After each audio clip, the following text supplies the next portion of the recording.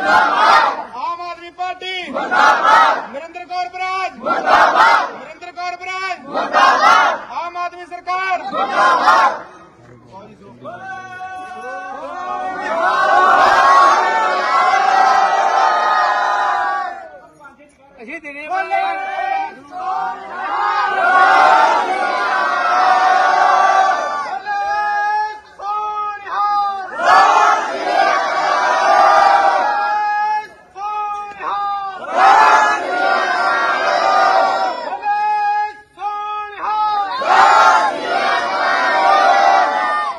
Okay ਜੀ।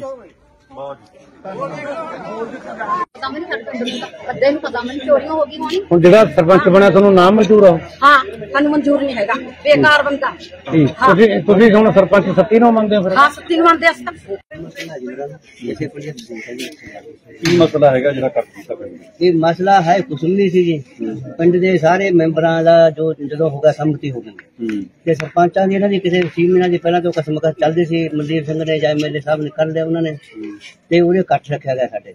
ਇਕੱਠ ਦੇ ਵਿੱਚ ਨਾ ਐਮਐਲਏ ਸਾਹਿਬ ਆਏ ਤੇ ਨਾ ਮਨਦੀਪ ਸਿੰਘ ਆਇਆ। ਜੇ ਉਰੇ ਆ ਜਾਂਦੇ ਜਾਂ ਪਿੰਡ ਤੋਂ ਹੀ ਮੰਗ ਲੈਂਦੇ ਵੀ ਅਸੀਂ ਐਮਐਲਏ ਸਾਡੇ ਮਿਲਦੇ ਮਿਲਦਾ ਮਿਲਦਾ ਬਣਾ ਦੋ ਸ਼ਾਇਦ ਪਿੰਡ ਦੇ ਦਿੰਦਾ। ਜਦੋਂ ਫਿਰ ਆਪਸ ਵਿੱਚ ਜਦੋਂ ਪੁੱਛਿਆ ਨਹੀਂ ਕਿਸੇ ਨੂੰ ਵੀ ਨਹੀਂ ਪੁੱਛਿਆ ਜਾਂ ਇਕੱਠ ਚ ਵੀ ਨਹੀਂ ਆਏ ਫਿਰ ਇਥੋਂ ਗੱਲ ਵੱਧ ਗਈ। ਤੇ ਸਤਨਾਮ ਸਿੰਘ ਖੜੀ ਸੀ।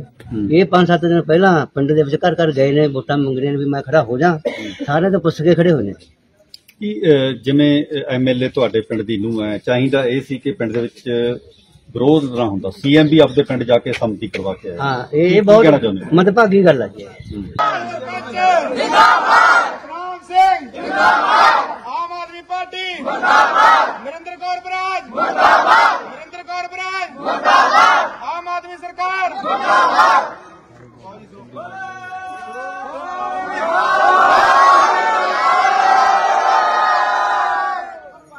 ਅਸੀਂ ਦਿਨੇ ਬੋਲੇ।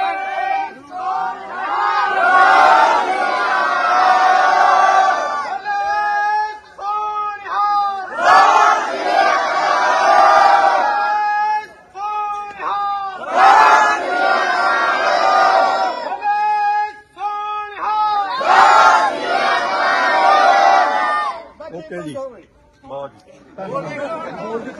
ਪਤਾ ਮੈਨੂੰ ਸਾਡੇ ਪਿੰਡ ਦਾ ਅੱਧੇ ਨੂੰ ਪਤਾ ਮੈਨੂੰ ਚੋਰੀਆਂ ਹੋ ਗਈ ਹੋਣੀ। ਹੁਣ ਜਿਹੜਾ ਸਰਪੰਚ ਬਣਿਆ ਤੁਹਾਨੂੰ ਨਾਮ ਮਨਜ਼ੂਰ ਆ?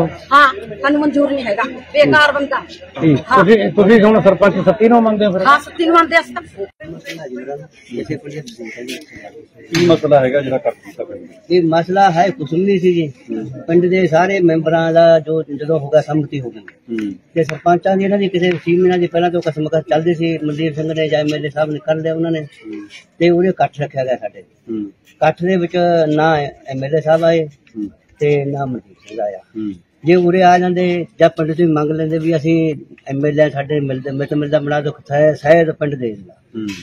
ਜਦੋਂ ਫਿਰ ਆਪਸ ਵਿੱਚ ਜਦੋਂ ਪੁੱਛਿਆ ਨਹੀਂ ਕਿਸੇ ਨੂੰ ਵੀ ਨਹੀਂ ਪੁੱਛਿਆ ਜਾਂ ਇਕੱਠ ਚ ਵੀ ਨਹੀਂ ਆਏ ਫਿਰ ਇਥੋਂ ਗੱਲ ਵੱਧ ਗਈ। ਤੇ ਸਤਨਾਮ ਸਿੰਘ ਖੜੀ ਸੀ।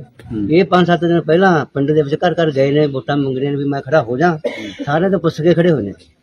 ਕੀ ਜਿਵੇਂ ਐਮਐਲਏ ਤੁਹਾਡੇ ਪਿੰਡ ਦੀ ਨੂੰ ਹੈ ਚਾਹੀਦਾ ਇਹ ਸੀ ਕਿ ਪਿੰਡ ਦੇ ਵਿੱਚ ਵਿਰੋਧ ਨਾ ਹੁੰਦਾ ਸੀਐਮ ਵੀ ਆਪਦੇ ਪਿੰਡ ਜਾ ਕੇ ਸੰਮਤੀ ਕਰਵਾ ਕੇ ਆਇਆ ਹਾਂ ਇਹ ਬਹੁਤ? ਮਦਭਾਗੀ ਗੱਲ ਹੈ ਜੀ ਹੂੰ।